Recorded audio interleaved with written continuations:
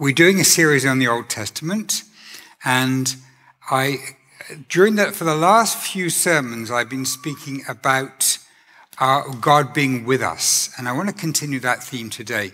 And my title today is The God Who Carries Us. And I want to begin with a personal story that reflects very well on God, but it doesn't reflect very well on me. So, um, this is a while ago when um, we were, I thought I'd get my stuff ready for church in advance. And I couldn't find, I was using a clicker at that point to, um, to change the slides, and I couldn't find the clicker anywhere. And so I prayed, God, please help me find this clicker. I need it for church. And, and um, I looked around, I couldn't find it. So I prayed again, and I, and I just, Lord, I need this clicker. May I find it? So I I, I thought I'm going to search the whole room meticulously. So I searched everywhere, every nook and cranny. I couldn't find it. And by that time, I was getting a bit annoyed with God because, like, He knew it where it was, and He wasn't telling me. So, so anyway, I prayed again, and, and I was kind of, I must confess, I said to you, the story didn't reflect very well on me. So anyway, I prayed again, and I kind of, well, you know, well. So anyway, so I started um, loading the, the, the car up, and this was the bag that, um, that the uh, video projector is in. And I picked it up, and it's got a handle, and I would normally pick it up by the handle. For some reason, I picked it up by the handle. It's not very heavy, but I put my hand under the bottom. And oh, there's a bump. That's weird. So I looked inside and took the projector out. There's nothing, but there's a bump. And then I realized there's a false bottom to this bag, and there's a kind of a flap in the bottom, and under the flap, where I'd not obviously not felt, was the remote. And so it was like God saying, I felt God saying to me, Look, Andrew, I'm, I'm looking out for you. Just don't worry about this. Don't worry. Now, I'm not going to say that every prayer we answered, God's going to do that sort of thing for you. But I really felt God was giving me a message at that point that, um, that this is a God who carries us. He is a God who carries us. And this is the, these are the words that I want to look at from Isaiah 46 today, where God speaks about carrying us, because it's such a, a, um, a tangible image. And um, you can see, you've probably those of you here will have seen Dan carrying Declan today. And it's kind of like a, a mother or father carrying the child. It's, it's just very, it's an image that's all very familiar to us. And I want to start by asking, are you carrying any burdens right now? Is there anything that you are carrying right now? And I also want to challenge you that by the end of the message, I want to encourage you to give God that and to trust God with carrying your burdens. So let's come to the passage. Have you heard the, uh, have you ever come across a shock clickbait headline? Something designed to shock you to make you read it. I'm sure you have. Uh, here's one I saw recently Brazil destroys Chile. I thought, I didn't know they were at war. Like, what is happening here? And then I read the next line Brazil defeated Chile 3 0 at uh, Maracana, leaving La Roya without a chance to play in the next World Cup. Here, check out the highlights and goals from this match. So, you know, that was the kind of shock headline. Here's another one that I, I saw yesterday. Mayers' arm destroys England to leave West Indies on verge of victory. And then you get uh, Kyle Mayers was the destroyer of England's second innings with a five wicket haul to put the West Indies on the verge of victory in the cricket final on Saturday. So again, it's sport. So uh, here's the shock headline we read in Isaiah Bel bows down, Nebo stoops. Or you might say, well, I'm not terribly shocked, but I don't really even get it. Like, what's so shocking about that? Um, well, uh, if you knew what they represented, then it would be a shock headline for you because these are the two main gods of the Babylonian Empire. So the first, uh, here's, uh, here's, um, um, oh, let's, I'm going to give my outline first before I go back to that. We're going to understand the shock headline in Isaiah 46. Then we're going to go through the passage. And then we're going to take in what it means for us, that God's promised to carry us. And my goal is that each of us would truly take in deep encouragement from this chapter, that we would truly be encouraged from it. So let's go back to our headline. Uh, so the, this is uh, Nebo. And Nebo was one of the, the, the uh, gods of the empire. And there were six Babylonian kings named after Nebo. Did anybody know any of their names? Yeah, yeah Nebuchadnezzar, Nabonidus. There, yes, there were several others, that's right. Um, Nebuchadnezzar, by the way, means Nebo, protect my frontiers. That's, that's the name. Uh, the other one, Bel, who we sometimes call Marduk, they sometimes called Marduk. Uh, any names, persons' names with Bel in them? Belshazzar, that's right, that means Bel, may Bel protect the king. And they trusted these gods to help them at war. Uh, because up to that point they'd always won, and they, so they assumed that these gods must be the those to, to thank. Now, uh, let's try and imagine what this headline, why this was a shock uh, to the Israelites who are reading this. Now, what would be the most powerful country in the world today in terms of military? Well, probably the US.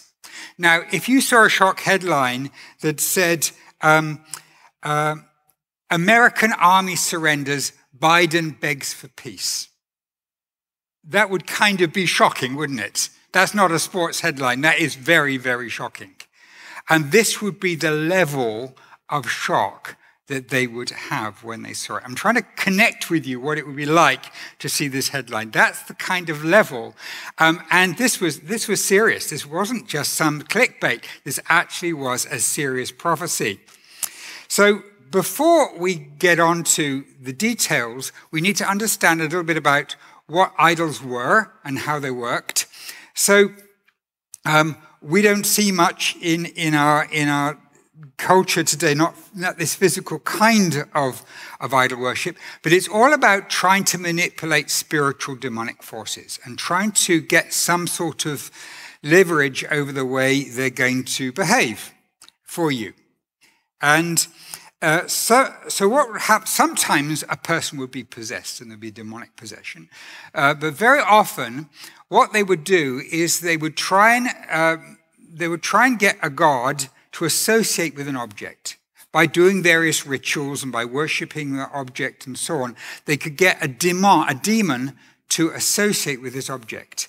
And we know from the Bible that there are, you know, there are demonic demonic forces, and there are some major demonic names.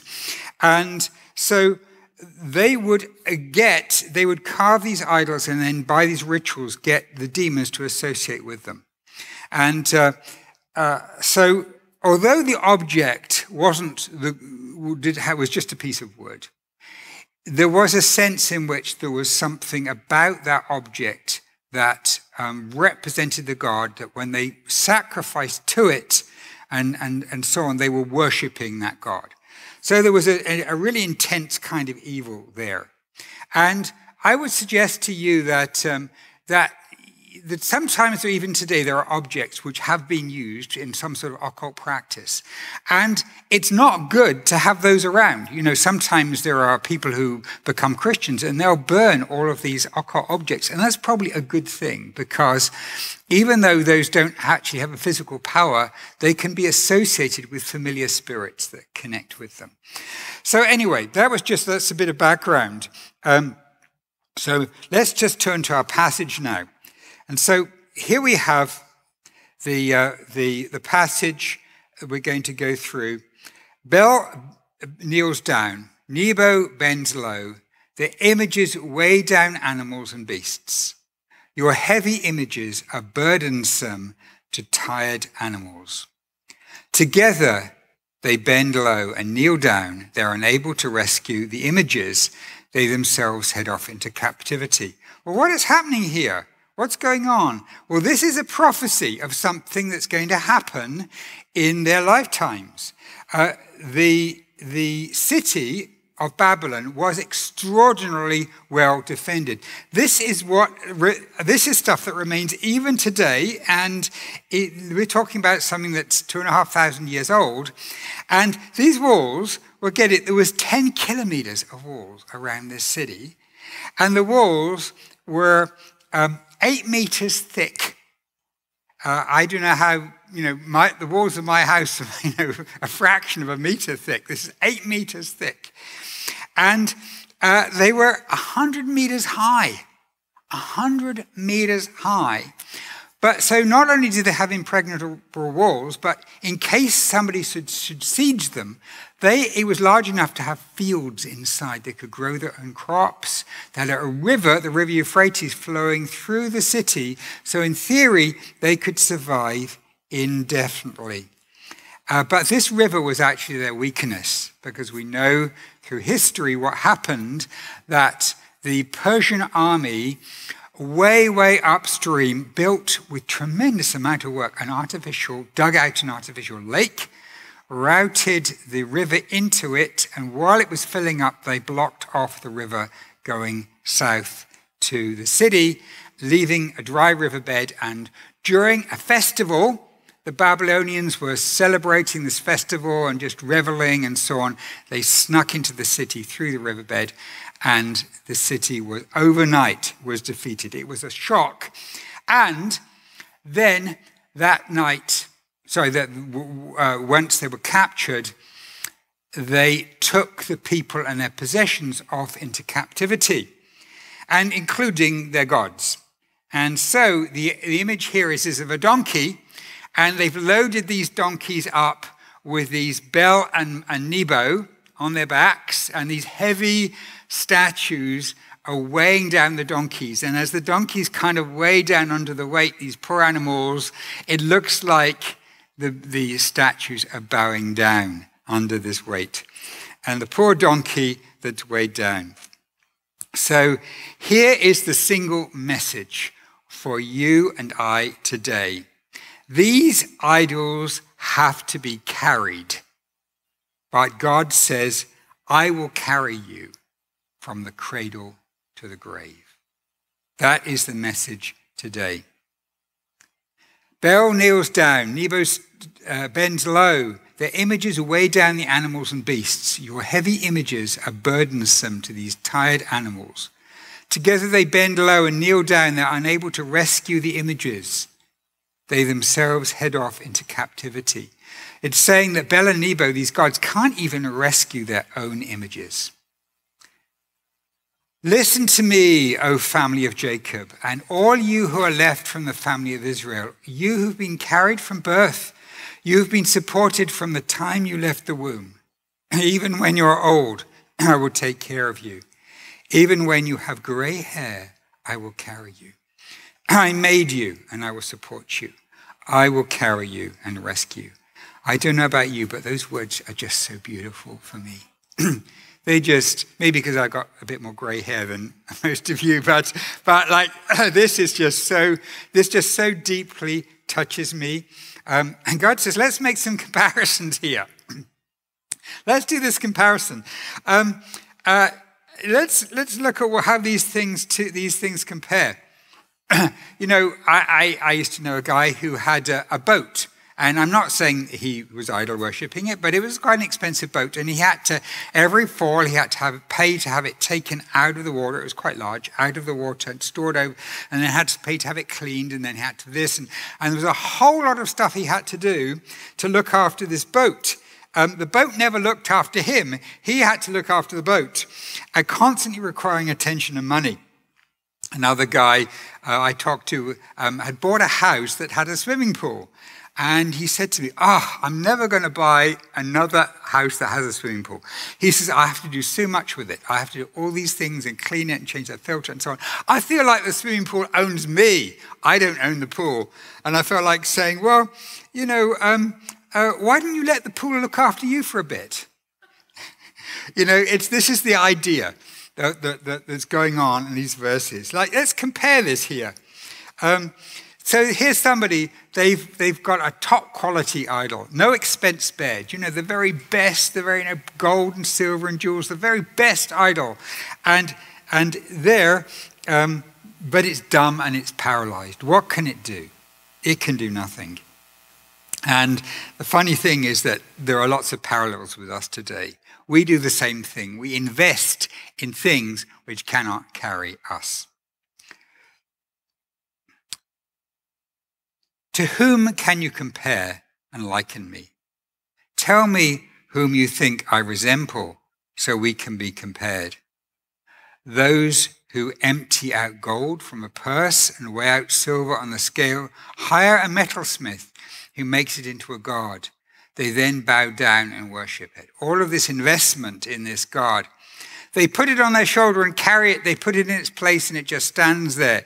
It does not move from its place. Even when someone cries out to it, it does not reply.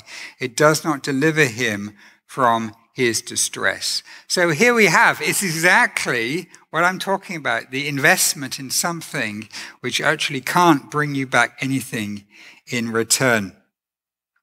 So the passage carries on. God wants a comparison here. He says, Remember this so you can be brave. Think about it, you rebels. Remember what I accomplished in antiquity. Truly, I am God. I have no peer. For I'm God, there's no one like me. And then he describes himself, who announces the end from the beginning and reveals beforehand what has not yet occurred. So it's the prophetic word he's giving here about Babylon who says, My plan will be realized. I will accomplish what I desire. Who summons an eagle from the east, from a distant land, one who carries out my plan. a while ago, Anne and I went um, to, I don't know if it's still open, we went to the, the uh, African Lion Safari in Ontario. And uh, the most impressive thing that we saw wasn't actually the lions or tigers. It was a, a woman who gave a demonstration with an eagle. And we walked out into this um, area with her, and um, she had this great big shoulder pad on, and there was no eagle. And there was a lake. And then noticed right across the other side of the lake in a tree was a massive eagle. You know, it was just so big, and it was there in the tree. And she whistled.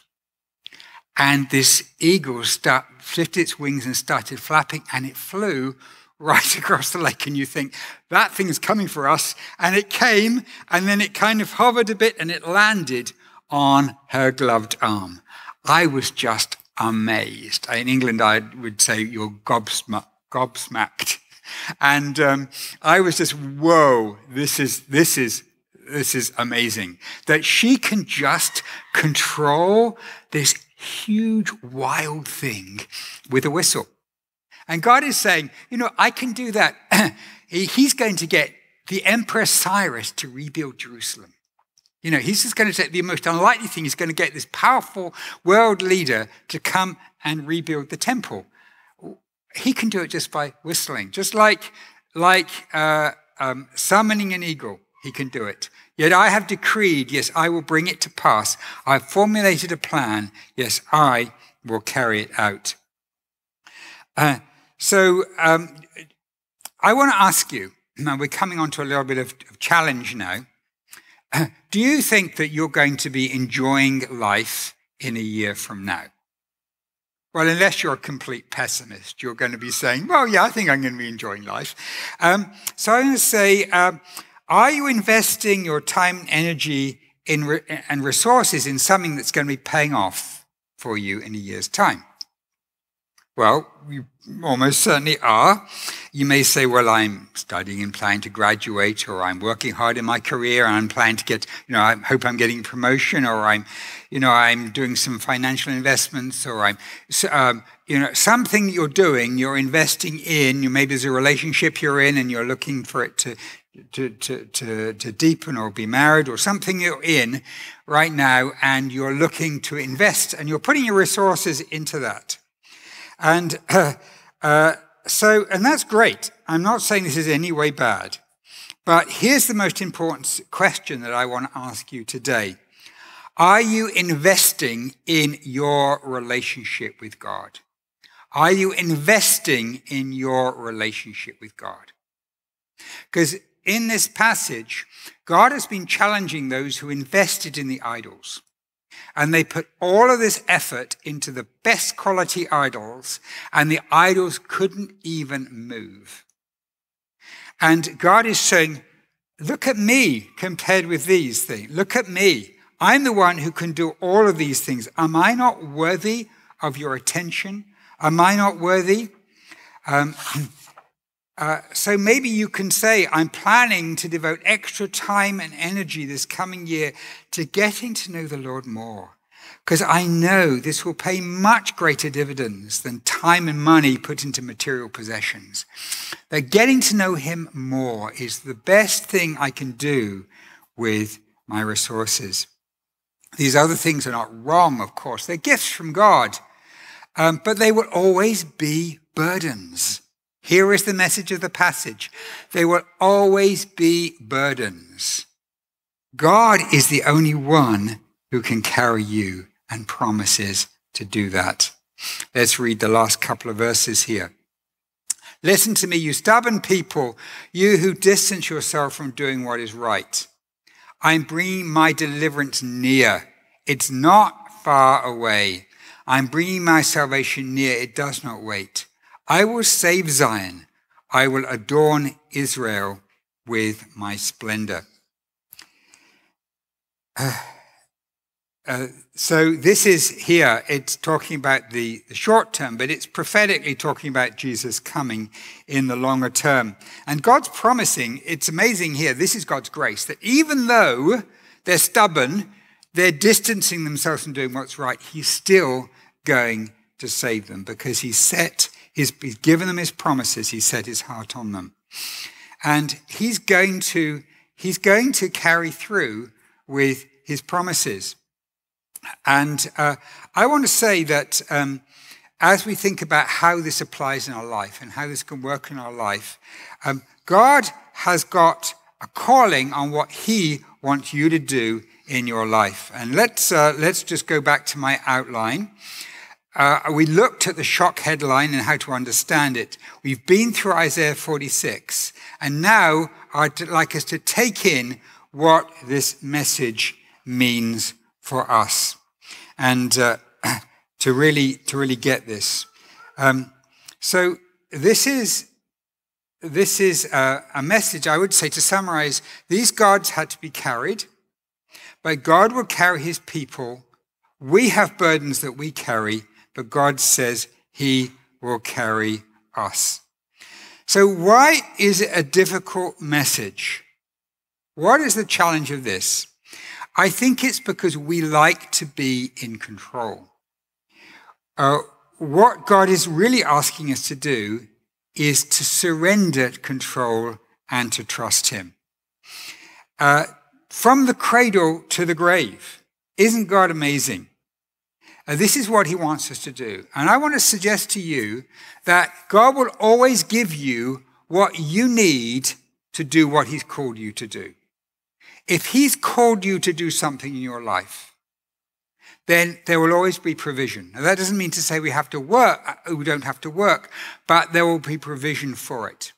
Sometimes when I'm preparing a message, God decides to take me through an experience which I need to learn in order to really understand the passage. And when I first started looking at this passage, which was actually a while ago, I was, was studying this, um, I was um, I was looking at the passage and I thought this would make a good sermon. So I started studying it and we had an internet outage. And that's so annoying, you know. But I, I could keep on studying, but it was so annoying.